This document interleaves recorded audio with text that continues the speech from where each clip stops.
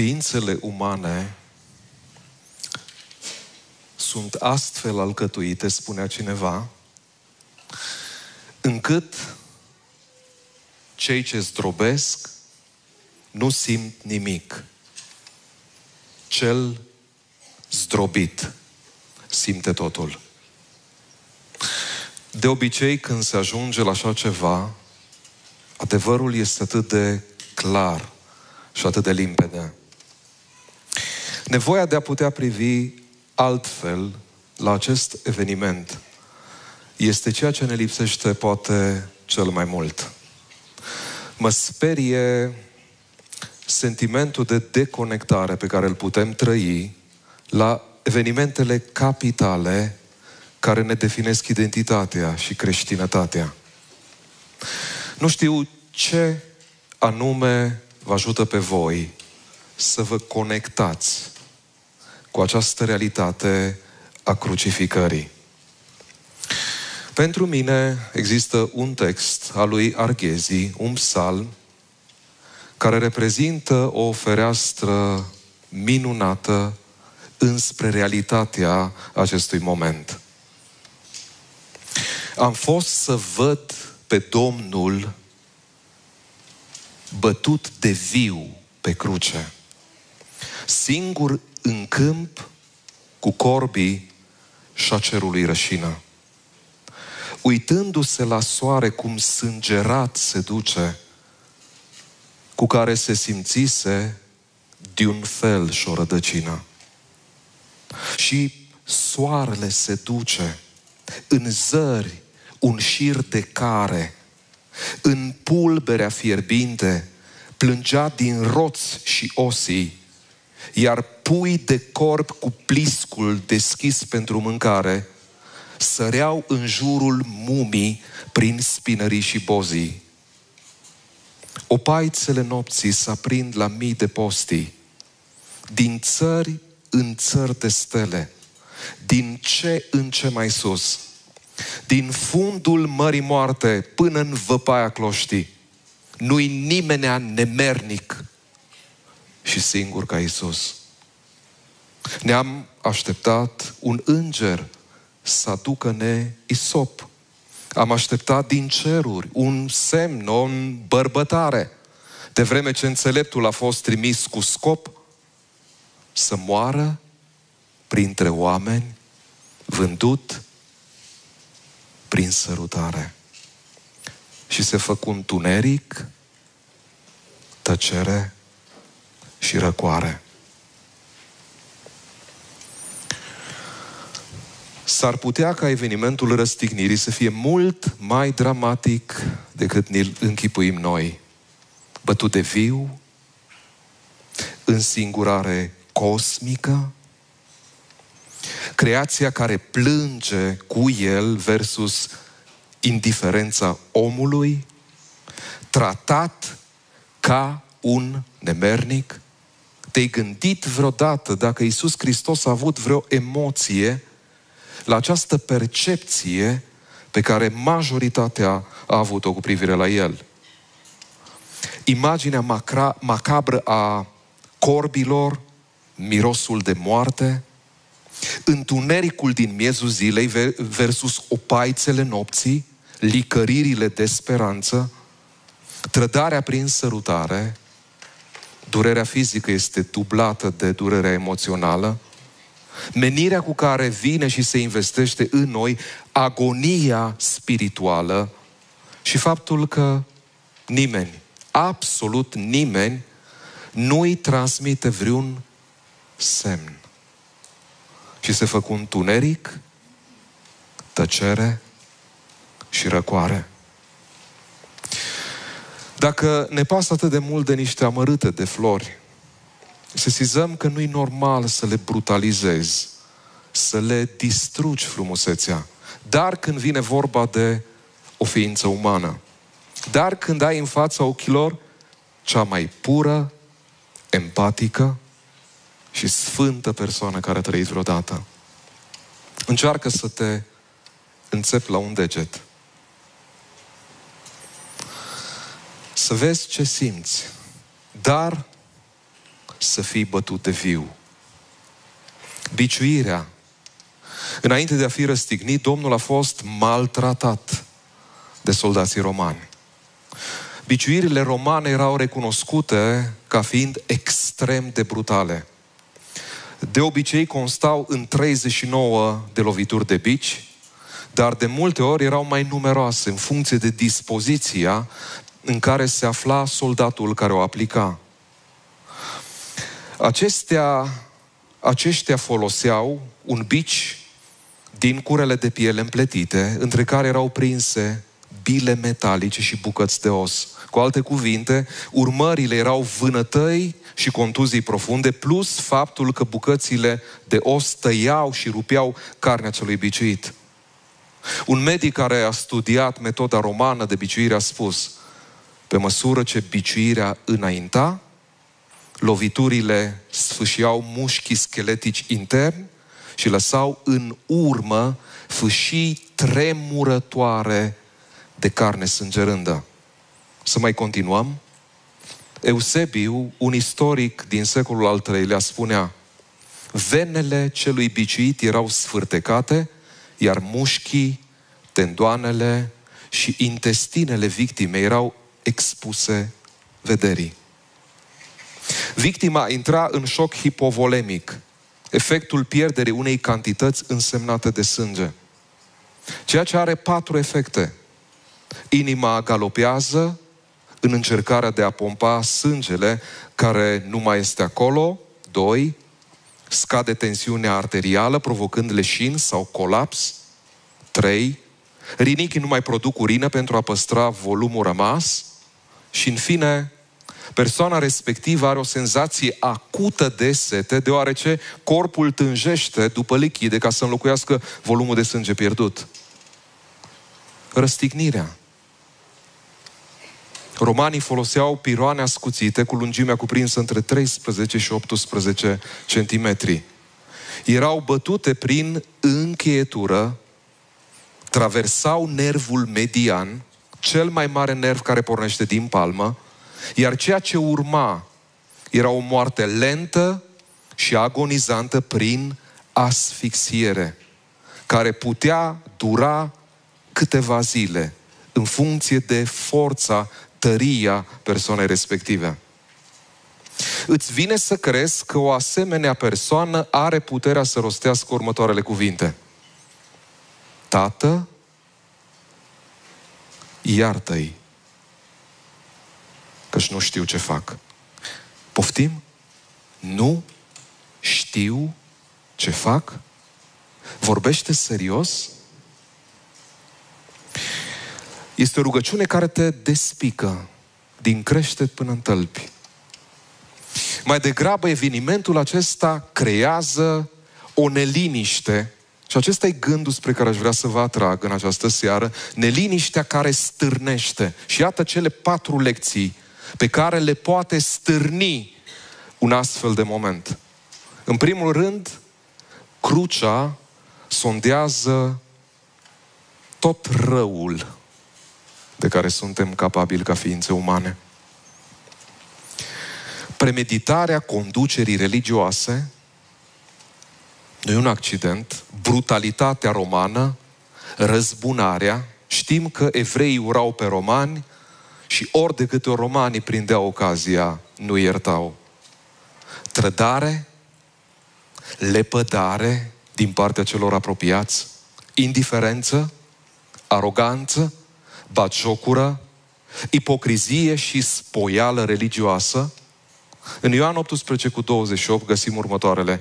Au adus pe Iisus de la Caiafa în odaia de judecată. Era dimineață. Ei n-au intrat în odaia de judecată ca să nu se spurce și să poată mânca Paștele. Este vorba de o ironie deliberată, șocantă din partea autorului. Serios. Asta era problema cea mai mare, contaminarea religioasă în praznic, în timp ce ei erau niște criminali. Și în puncte de genul acesta se întâlnesc provocările pe care un eveniment ca acesta ni lansează fiecare dintre noi. Între ceea ce considerăm noi poluare religioasă, morală și ceea ce vede Dumnezeu în momentul în care privește la noi. Uneori privind la indiferența, împietrirea și atrocitățile care s-au comis în această lume și uneori în numele religiei, mă întreb pe bună dreptate dacă a meritat un astfel de sacrificiu. Dar când mai aud câte o mărturie a celor care vin la cateza și văd cum se intersectează Dumnezeu cu viețile noastre și cum preschimbă o viață sortită eșecului și pierzării în ceva fabulos. Mi-aduc aminte de ceea ce spune Isaia în 53 cu 11. Va vedea rodul muncii sufletului lui și se va înviora. Prin cunoștința sa, robul meu cel neprienit va pune pe mulți oameni într-o stare după voia lui Dumnezeu și va lua asupra sa povara nelegiuirilor lor. Oare ne comportăm asemenea fratelui mai mare ce crede că a dus o viață impecabilă? Sau în inima noastră există loc pentru căință? Primul efect, prima lecție, îi că sondează în inimile noastre dimensiunea răului halucinantă. Doi, crucea ne poate ajuta să ne împăcăm cu situațiile de neînțeles în această viață. Poftim, explică așa ceva. Cum poți să explici logic, rațional, ceea ce se întâmplă într-o astfel de situație? Cineva îmi spunea nu de mult că vede un pericol în bisericile noastre să livrăm povești de succes. Reușite, izbânzi și spune uneori Dumnezeu nu se conformează așteptărilor noastre legitime, chiar biblice. Ce te faci atunci în viață? Și mă înspăimântă gândul inimii și a interiorului cu care putem veni, ne putem expune uneori la o sărbătoare de felul acesta. Habar nu avem care-i realitatea, care-i dimensiunea interioară a frământărilor pe care le trăiesc ceilalți. Și Întrebarea e dacă în viziunea noastră și în Evanghelia pe care o predicăm, reușim să creionăm, să zugrăvim această realitate care îi cuprinde pe absolut fiecare. Ce facem noi cu teologia Psalmului 22? Dumnezeul meu, Dumnezeul meu, pentru ce? Și Hristos, din punctul meu de vedere, se pregătește pentru cruce, meditând la acest psalm și absorbind în el toată durerea, și toate atrocitățile care s-au comis și se vor comite, care, apropo, Psalmul 22 se află situat înainte și nu după Psalmul 23. Ce înseamnă să spui Domnul este păstorul meu după ce ai parcurs Psalmul 22 și ajuns în viață în punctul în care te-ai rugat în felul acesta Dumnezeul meu, Dumnezeul meu, pentru ce m-ai părăsit? Asta ca să vezi maturitatea pe care o aveau oamenii ăia din vechime. Inclusiv în așezarea anumitor texte. Există un incident pe care l-am întâlnit în urmă cu mai mulți ani, care efectiv m-a răscolit. Este vorba de un pasaj din cartea lui Elie Wiesel, Noaptea. Elie Wiesel a fost născut, s-a născut la Sighet, în România, a fost deportat în 1944 împreună cu familia la Auschwitz, unde aveau să-și găsească sfârșitul mama, sora mai mică și tatăl său.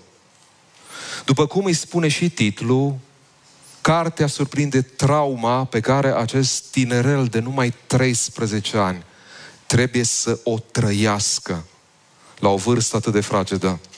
Lucru care avea să-i întunece priveliștea vieții pentru totdeauna. Ceea ce m-a surprins este felul în care reacționau evreii adunați în ghetou, iluziile pe care le nutreau, că nu va dura mult și că totul va trece cu bine. Două experiențe sunt în evidență cu o forță nestăvilită. Prima, citez, N-am să uit niciodată noaptea aceea. Prima petrecută în lagăr, care a făcut din viața mea o noapte lungă și de șapte ori zăvorâtă. N-am să uit niciodată fumul acela. N-am să uit niciodată fețișoarele copiilor ale căror trupuri le-am văzut preschimbându-se învolute de fum pe un cer mut. N-am să uit niciodată acele flăcări care mi-au mistuit pentru totdeauna credința. N-am să uit niciodată liniștea nopții care m-a privat pentru eternitate de dorința de a trăi. N-am să uit niciodată clipele acelea în care Dumnezeu a murit pentru mine și mi-am pierdut sufletul și visurile care au luat chipul deșertului. N-am să uit niciodată asta, chiar dacă aș fi condamnat să trăiesc la fel de mult ca însuși Dumnezeu. Niciodată. Ce îi spune unei astfel de persoane?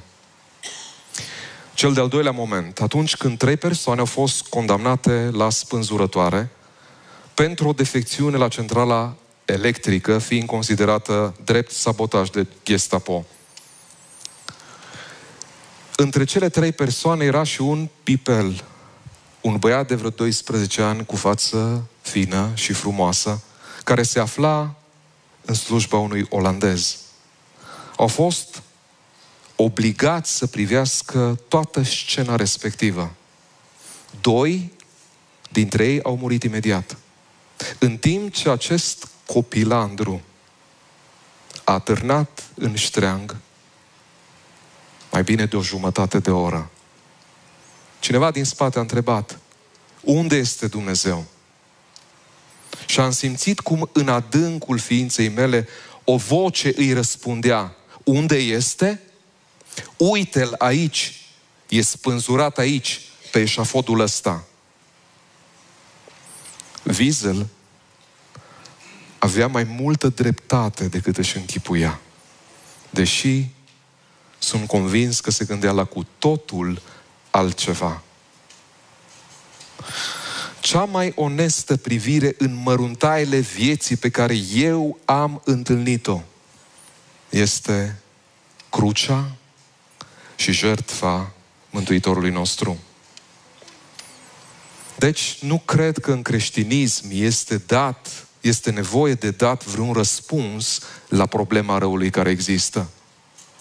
Recunosc că mi-a fost foarte greu să pricep în ce măsură sunt patimile o veste bună, în afară de faptul că ne aduce iertarea lui Dumnezeu. Și un lucru pe care l-am înțeles la maturitate, îi că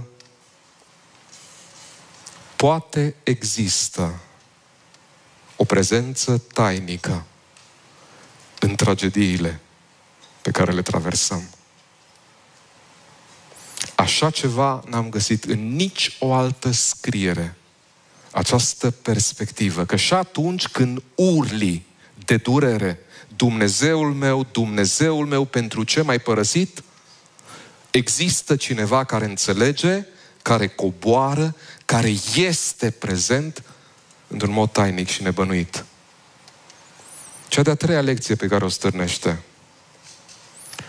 Crucea ne reamintește că am fost mântuiți printr-o imensă nedreptate.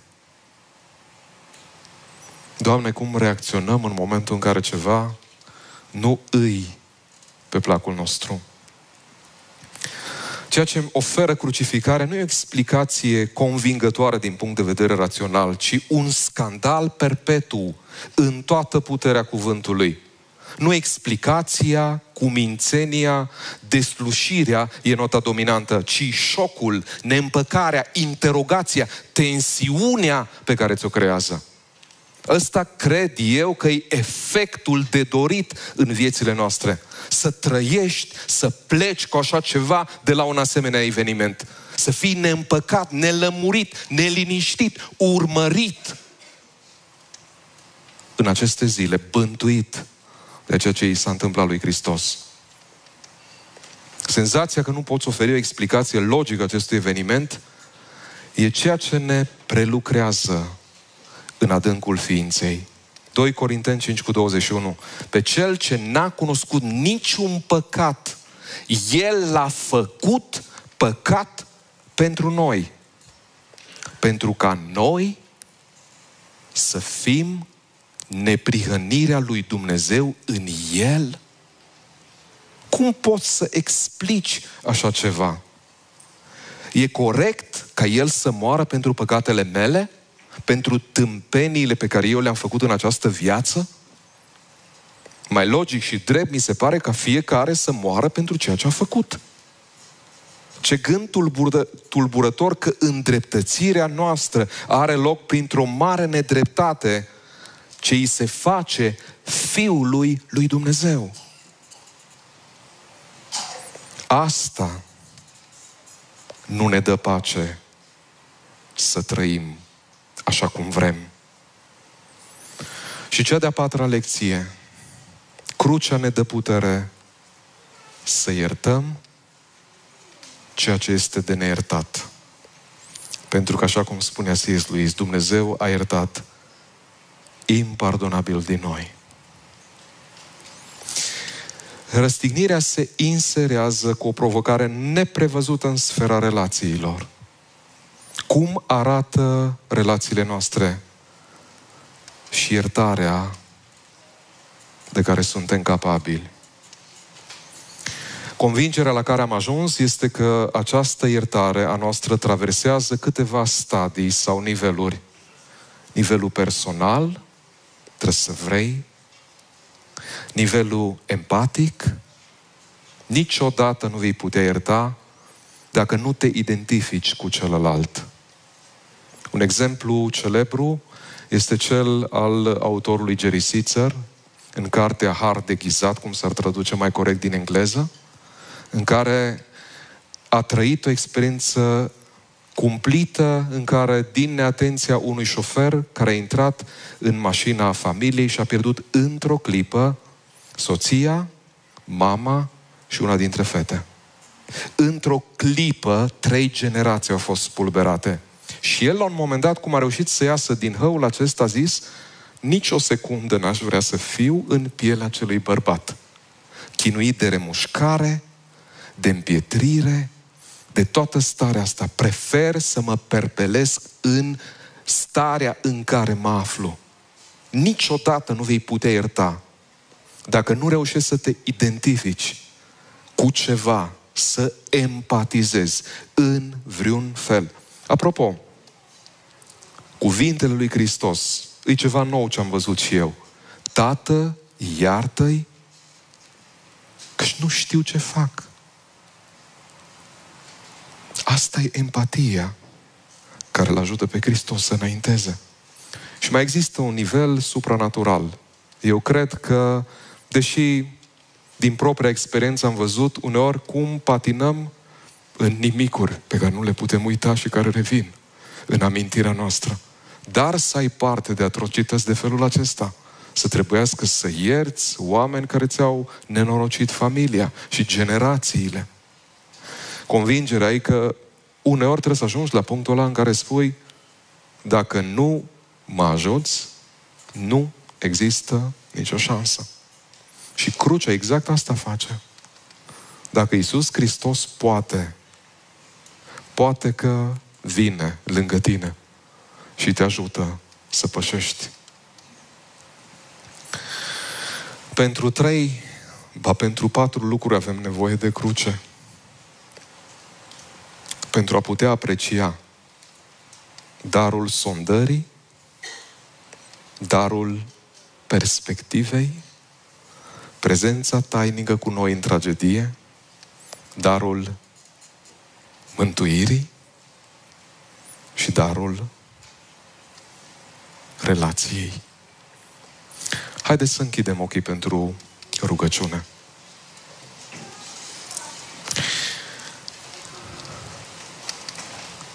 Iată întrebările pe care nu le putem evita la final.